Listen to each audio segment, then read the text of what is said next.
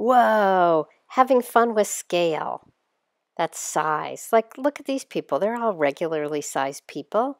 And there's a diver. We know that he's a human being, but look at what happens when he's next to a whale. Man, that is huge.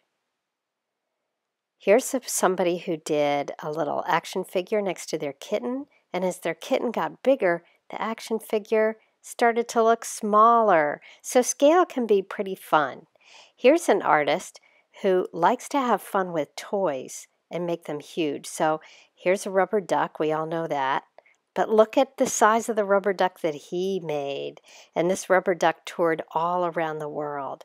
And why does he do this it? factor that it surprises uh, people. You normally you do your thing during the day, you go to work, you, you have an appointment, you go to your uh, family or friends. And in between, I try to grasp you to get you out of your normal daily life and, uh, well, to, to let you stop and look. So here's how you could play around with scale with the drawing. So I'm going to draw a guy. I'm still figuring him out, but he's just the basic one that we've often practiced in class. He's got arms and legs. Oh my goodness, I don't know what I just did to his arm there. That's huge. Uh, I'll put in a face and surprise face because I'm anticipating something big over here. Hmm. I got gingerbread boys on the brain, so I'm going to draw a giant gingerbread boy. And maybe that's a button that that kid has in his hand. So how do I convince everyone that the gingerbread boy is big and the real life human is small? Drop in some other things that are matching the human. So there's the human's house.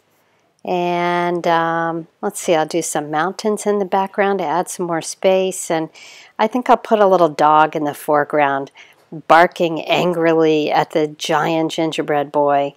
And all of those things tell my brain, hey, that's a big boy. Another thing you can do is cut out things from magazines. Like here are these two lobsters, so I cut them out. I'm going to put them on a piece of paper and Oh my goodness, I just saw this cruise ship. Now, one thing I could do with scale is have a giant cruise ship in the claw of these giant lobsters.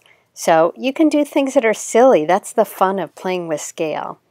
If I want to draw something, I might leave my giant lobsters right on the edge of the water here, and maybe I'm going to draw a surprised swimmer who's never seen giant lobsters this big.